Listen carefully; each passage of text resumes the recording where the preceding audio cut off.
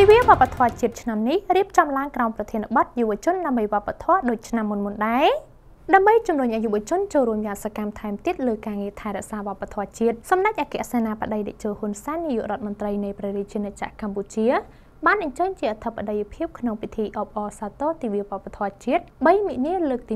25 និងពិសាអាហារសាមគ្គីជាមួយសិល្បករសិល្បករនីជាង4000នាក់នៅមជ្ឈមណ្ឌលកោះពេជ្រសម្ដេចតេជោហ៊ុនសែនបានមានប្រសាសន៍ថាការជួបជុំនៅថ្ងៃនេះគឺជាជំនួបដ៏មានតម្លៃដើម្បីពង្រឹងភាពស្និទ្ធស្នាលរវាងប្រមុខរាជរដ្ឋាភិបាលនិងអ្នកសិល្បៈនិងដើម្បីលើកកម្ពស់តម្លៃវប្បធម៌របស់យើងឲ្យកាន់តែល្អប្រសើរបន្ថែមទៀតសូមបញ្ជាក់ផងដែរថាក្នុងពិធីពិសាអាហារសាមគ្គីជាមួយសិល្បករសិល្បករនីដែលបានរៀបចំម្ហូបអាហារភេសជ្ជៈមួយចំនួន និងស្រាបៀរតែមួយមុខគត់គឺស្រាបៀរម៉ាឌ្រីតរបស់លោកជំទាវអុកញ៉ាសុកសុភីប